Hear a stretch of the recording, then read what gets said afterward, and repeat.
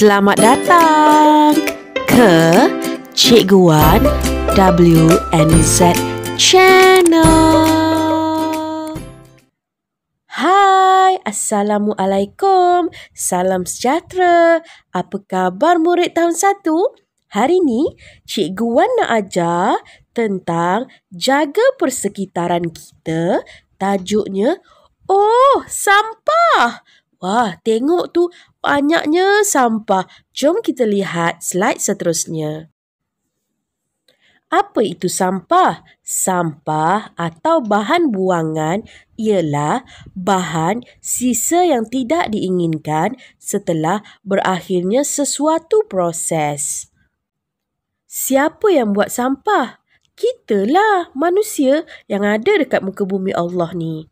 Apa contoh sampah yang kita telah buang? Ya, botol atau plastik yang tak kita gunakan. Contoh, kita dah minum air. Lepas tu, kita buang dalam tong sampah. Selain tu, sisa makanan. Sisa makanan ni, bila murid-murid dah makan nasi, lauk dia seperti ikan, ayam, tulang-tulang dia tu kita buang dalam tong sampah kan? Kita juga buang tisu atau kertas yang digunakan. Lepas dah lap tangan tu, kita buang dalam tong sampah. Mak-mak kita pun buang rumput dan daun kering yang dekat laman tu. Kumpul dalam plastik dan buang sampah tu. Macam-macam jenis sampah yang ada dekat bumi ni kan? Di mana kita boleh jumpa sampah? Banyak sangat tempat. Ini ada setengah contoh yang Cikgu Wan bagi. Contohnya di kawasan rumah. Ada tak Ya, sesetengah orang tu dia baling campak sampah macam tu je. Tak elok lah. Betul kan? Ha, lain kali buang sampah elok-elok dalam tong sampah ataupun letak elok-elok. Jangan baling je. Kita juga boleh jumpa sampah dekat sungai, kawasan pasar, kawasan taman permainan, pantai, tepi jalan. Kotor kan? Ha, kita pun tak suka tengok sampah banyak-banyak, betul tak? Apa yang terjadi jika sampah banyak? Jika sampah banyak di dalam sungai ataupun laut, hidupan di dalamnya akan mati. Cuba murid-murid lihat gambar tu. Tak kesian ke dekat ikan yang mati, penyu yang tersangkut dekat plastik, dekat jaring? Semuanya kerana sikap tidak bertanggungjawab manusia macam kita. Murid-murid pernah buang sampah dalam sungai? Dalam pan- di pantai? Ha, kalau pernah, jangan buat lagi. Kesianlah dekat hidupan laut ni. Boleh ya? Jika sampah banyak di tepi jalan, longkang, saluran longkang akan tersumbat dan akan berlaku banjir kilat kerana air hujan yang turun tidak dapat mengalir kerana penuh dengan sampah-sampah buangan manusia. Tengok tu, polis cuba menggali atau membuang sampah yang ada dekat longkang tu. Tak kesian ke? Kalau banjir kilat, kita juga yang akan terjejas kan?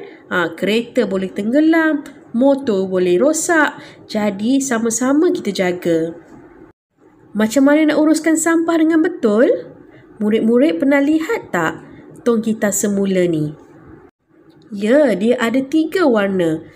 Oren, coklat dan biru. Cuba kita lihat satu persatu. Ya, warna oren untuk tin atau plastik. Apa-apa barang plastik atau tin boleh dibuang di situ. Seterusnya, warna coklat untuk kaca. Apa-apa botol yang kita dah tak guna, botol kicap ke, botol air ke, pinggan ke yang rosak, boleh buang dalam tong warna coklat. Seterusnya, tong warna biru. Warna biru untuk kertas. Jadi, sebarang buku yang rosak, surat khabar, kotak boleh buang dalam tong warna biru. Sekarang murid dah tahu fungsi setiap tong kan? Jangan pula pergi buang kucing yang mati, nasi basi ataupun tulang-tulang ayam dalam tong ni. Jangan ya. Jika kita pandai menguruskan sampah, kita boleh lihat gambar-gambar seperti ini.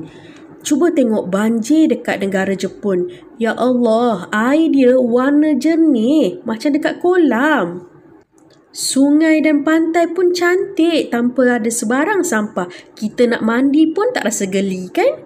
Seterusnya, kalau sungai kita cantik, kita boleh letak ikan. Ha, barulah nampak negara kita negara yang bersih dan disukai pelancong. Cuba lihat taman permainan tu. Tak ada sampah langsung. Kan bersih. Semua tempat disediakan tong sampah. Jadi buang sampah dalam tong sampah. Supaya hidup kita sentiasa bersih, seronok, tenang je. Okey ya murid-murid? Tugasan hari ini, Cikgu Wan nak murid-murid nyanyi bersama Cikgu Wan lagu tanya sama sampah. Nanti rakam dan hantar pada Cikgu Wan. Boleh ya?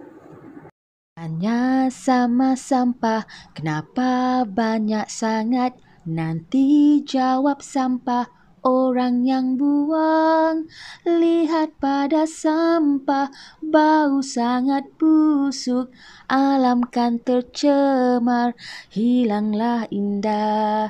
Pesan dari guru. Mesti ingat selalu kurangkanlah sampah. Dunia kan bersih marilah bersama. Jaga kebersihan fikirlah dahulu sebelum buang. Cikgu Wan harap murid-murid faham ya Jangan lupa siapkan tugasan. Jumpa lagi.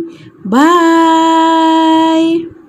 Sebelum tu, jangan lupa like, share, komen dan subscribe.